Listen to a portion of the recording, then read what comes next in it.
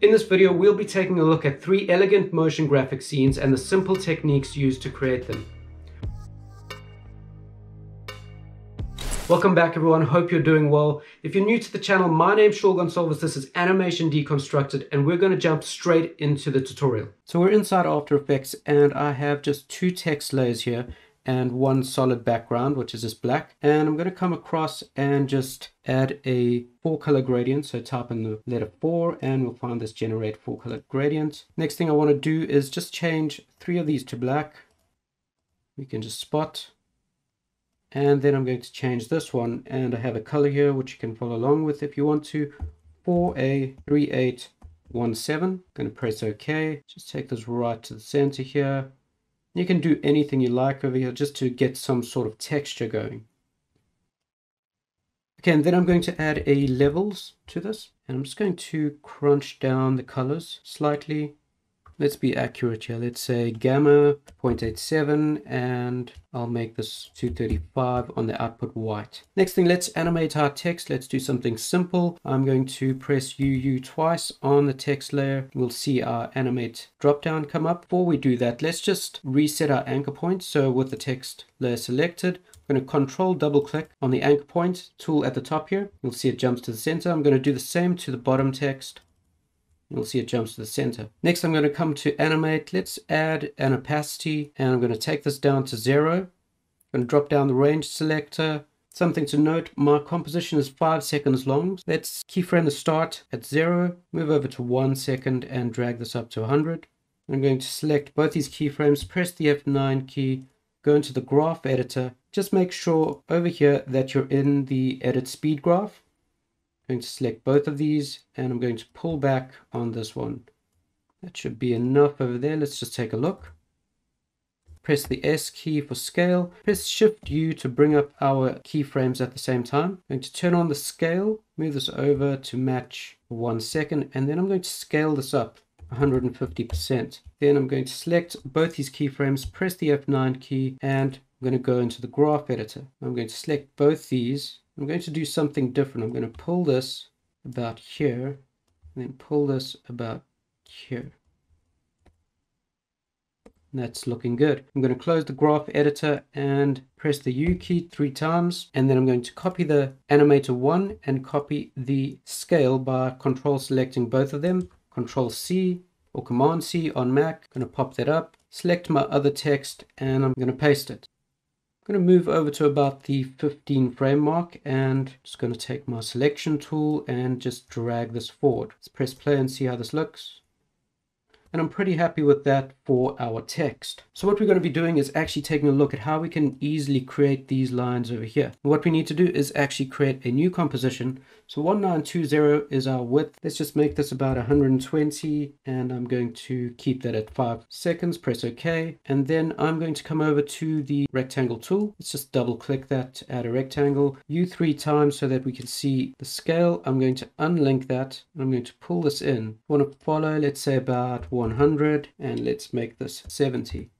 So what we're going to do is actually have a number of these duplicates all across here and they'll be animating on the vertical. Control D to duplicate this. I'm going to move this over and then just scale this down. Then I'll Control D move this over again and I'll do this a number of times and just zoom in as well and we can make a few of these really thin. I'm going to duplicate these over so I don't waste your time and then we'll move along. So we're back in our composition and I just have a number of, of these. I also moved one off to the right because these will animate in and out automatically. What we're going to do is press the P key on one of these and I'm going to right click and we're going to separate the dimensions. This is going to allow us to actually just add a wiggle expression to the X position. I'm going to select all the rest of the layers. I'm going to press the P key. Let's just move this up so we can see it. I'm going to control click all of these positions, right click, separate dimensions, and then I'm going to alt click on the stopwatch of the X position, going to type wiggle, I'm going to open my brackets, we can type in there 0.6 comma and I'm going to say 220 and what this means is just over half a second this will move anywhere between 0 and 220 pixels to the left or right so it won't be very fast, it'll be quite smooth. And then I'm just going to press enter on my numpad. Or you can click out. I'm going to actually click back in there, copy this, and then we can just alt click, control V, paste, and just go down and do this to the rest of the layers. So we have all our layers done, and if I just scroll across here, you'll see what's happening with our animation. Deselect everything, press the U key to close it all up, and I'm going to just reset my workspace so you can see it better. Let's also rename this to be lines. Then I'm going to take this and I'm going to drop it onto a composition. Then Control K to bring up the composition settings, change the height to 1080 and then I want to press S for scale, unlink the scale. Let's just zoom out so we can see what's happening here. And I'm going to drag up and you'll see this feathers on the edges. So I want to go right past that. And then I'm going to duplicate this, right click, and I'm going to go to transform, flip horizontal. Now if I just go forward, we'll get quite an interesting animation. Just going to zoom back in there and do a play.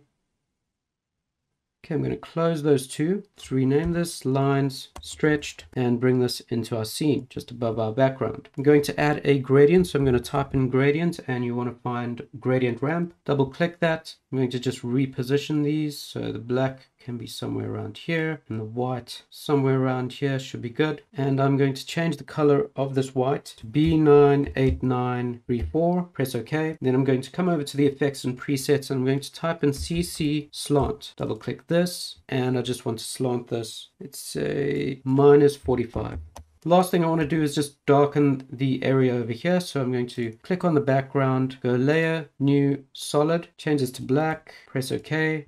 I'm going to double click on the rectangle tool. It'll create a mask for us. I'm going to double click on the mask so that we can bring it across. Double click again. I'm going to zoom out just slightly and click outside. And I want to hover over this area over here, click and drag, and this will allow us just to slant this in the same angle. Next thing I want to do is press M three times until we see our mask properties. Unlink the mask feather, and I just want to feather it on the horizontal.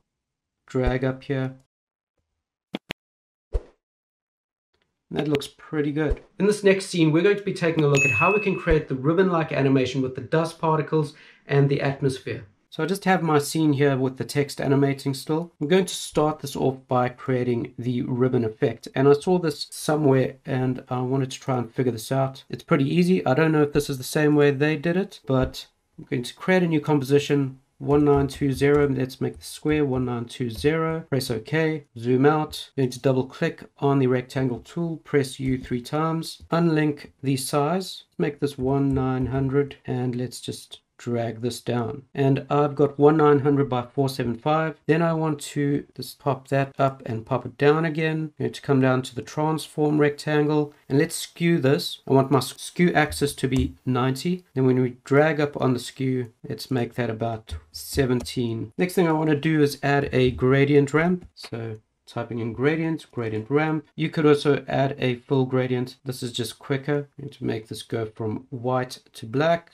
left to right. Do something like this so that we'll have this 3D kind of look of a ribbon. didn't name my composition, so I'm just going to name that now, ribbon, flat, and then I'm going to drag this onto the create composition button. Let's just rename this ribbon 3D. What I want to do now is just with that layer selected, come over to the effects and presets. We're going to type in CC cylinder. I'm going to double click that and you'll see straight away we get a cylinder looking ribbon. Let's drop down the rotation. I'm going to turn on the keyframe at zero for the rotation Y. Move over to five seconds and make this two revolutions. Just take a look at this can pop that up again. I'm going to duplicate this and the reason I'm doing this because I want to have a top and bottom separate. So if we just turn this drop down on the render, we can actually select, I want the outside. If I solo this layer, you'll see we just have the outside rendering of this. Let me move forward until I can see something like that. I'm going to drop down the light and I just want it a, bit more intense. So the light height, if we just drag up on this, can get to about 55. For the layer below, I am literally going to just change the render to inside, T for opacity, and I want to take this down to 20% and then we can close this, close that one, back in our composition, come to our project panel and we'll find that ribbon 3D, drop this onto our background, we drag through.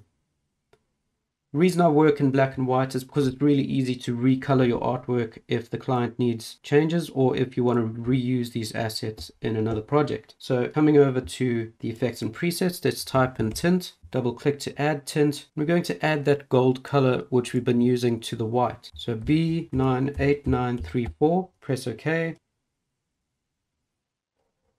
Then let's just animate this in. I'm going to press the S key, turn the stopwatch on. Going to drag this to about one second, one and a half seconds. Then let's scale this up. I'm going to say about 200%. Shift T to bring up the opacity, turn that on. Let's drag this over just to about 10 frames and then take this down on frame 0 to 0%. I want this to ease in at the end here. So I'm going to select this keyframe at the end here, press F9, and I want the opacity to ease in. So I'm going to select the first keyframe press F9. Let's take a look at this. Next thing I want to tackle is adding some particles to this. I'm going to just right click on our background, select layer, new, solid. I'm going to call this particles one, press OK. And I'm going to solo the background layer and solo the particles. I'm going to come over to the effects and presets, type in particles, and I want to use particle world, CC particle world, double click, and you'll see something like this. Let's start off by changing our particles. So drop down the particle, change the line. Let's use a lens convex. And you'll see because our layer is black, it will initially set this to black particles. So I'm going to press Control Shift Y to bring up the solid settings and we can change this to white. Press OK. And the next few things I want to change are the birth size. So 0.09 looks good. And then the death size, let's say 0.1. I'll just Scrolling forward, we still have this gravity on, so I'm going to go over to physics and drop this gravity down to 0.01. I still want a little bit of it for these dust particles. Let's change the animation to cone, drag forward, looking pretty good. I'm going to zoom out for the next step. I want to make this pretty big. I'm going to hover over this widget and we're going to click and drag and then Let's just drag it to something like this. And zooming out, I'm going to click in the middle here and just drop this down to about here. Can make this quite a bit bigger as well. And that's still far too many particles. So the next thing we're going to do is actually go to the velocity. Let's take down the velocity to about 0.25. We've got five seconds here. Let's make the longevity five seconds. Let's make the birth rate 0.1 just give a preview of this. My particles are still a bit big. See my death size isn't 0.01, which needed to be at 0.1 at the moment. So 0.01, press OK, and we'll get a softer particle there. Next thing I want to do is take that layer and change the mode to classic color dodge. And we'll use the color from the background. Then I'm going to duplicate this, Control D, come over to the extras, and I'm going to change the random seed to one. And then I want to come over to the effects and presets, and I just want to add some blur to this. So I'm going to test the camera lens blur for this. Shouldn't actually have to do much with this. That looks, turn it on and off. That's perfect. We don't even need to play with these settings. I'm going to turn the soloing off and take a look at this. The last thing I want to do is actually add some texture to this, so some smoke. This is pretty easy. Let's just go over to layer, new, solid, call this smoke, press OK, come over to the effects and presets. We're going to use a fractal noise for this. Double click that, drop down the transform, unlink the uniform scaling. Let's scale this up to about 180 something and then double that on the other side about 360 and then I'm going to change the complexity. Let's take this right up. It's about 18 then I'm going to play with the overflow brightness and contrast. I'm going to take the contrast down also the brightness down. See if we change this to soft clamp we'll get a softer kind of smoky texture. Then we can change the layer mode to classic color dodge maybe also drop the opacity down here to about 90 and I want to animate two things. So at zero, let's turn on the evolution and turn on the offset turbulence. Move over to five seconds. I'm going to drag across. That's plenty movement. And then maybe about three revolutions here. I'm actually going to swap these scales over. So let's say 360 here and 180 here. One preview.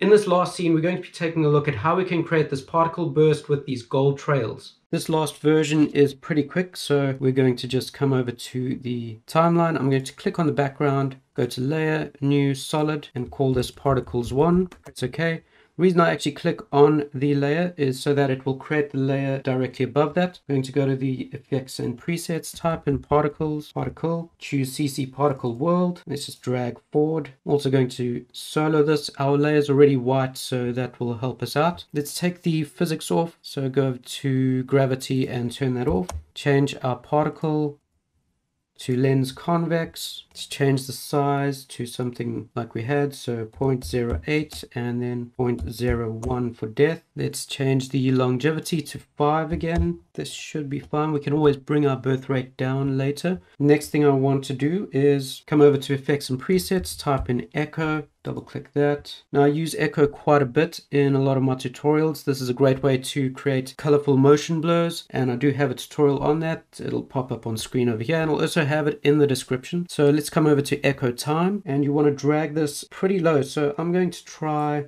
minus 0.01 just to start out. You'll see these jump closer together. Then the number of echoes, I want about 60. And this looks all right, but I do want to play with the decay. So let's say 0.9, and that's looking a lot better. I need to take this slightly lower, so 0.5. It looks pretty good. So 0.005 uh, negative, make sure. Let's add a fill to this and we're going to add that same color that we've been for the whole tutorial B98934 press OK. I'm going to duplicate this. I'm going to come over to the extras drop that down change the random seed to 1 and I'm going to make this color just slightly darker. So we have several of them a different color. And let's also take this birth rate down to one. Next thing I want to do let's unsolo everything. I'm going to duplicate my background move it above all of this. I'm going to come over to my ellipse tool. I'm going to draw a mask on this. Right about here. Going to hold down on the pen tool if that's what you've got selected. Choose the mask feather tool, click and drag and we can control our feather pretty well just by adding points and dragging where the feather will be. V, just to select the point tool and deselect. Let's move this below our black layer. Actually, we can turn that off. Something like this looks pretty good. And then you can just create a new adjustment layer, choose levels, and just crunch these numbers a bit to get something a bit more golden. One preview for this, If you want to see more of my videos, take a look at either of the videos popping up on screen right now. Keep animating, and until next time.